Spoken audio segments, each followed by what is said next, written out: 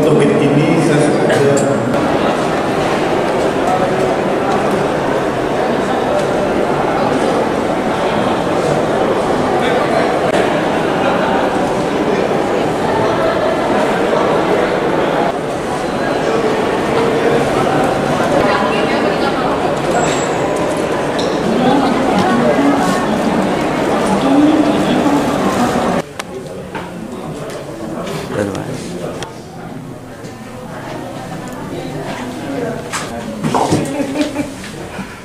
atas dukungan dan kehadirannya.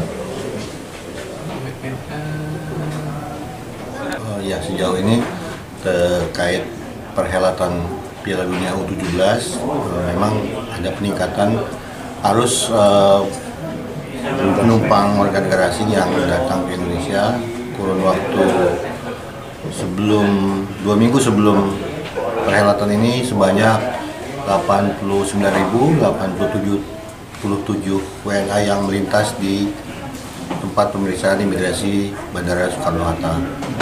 didominasi negara mana aja tuh Pak yang banyak datang ke Indonesia? Eh, jadi yang pertama warga negara Jepang yang jumlah sekitar 6.795 jiwa. Kemudian disusul kedua terbanyak Korea Selatan sebesar 5.586 jiwa. Dan kemudian yang ketiga dari Amerika sebesar 3.408 jiwa. Artinya eh, ini akan terus eh, apa meningkat atau seperti apa Pak melihat eh, memang eh, pertanyaannya akan dimulai juga pada tanggal 10 ini.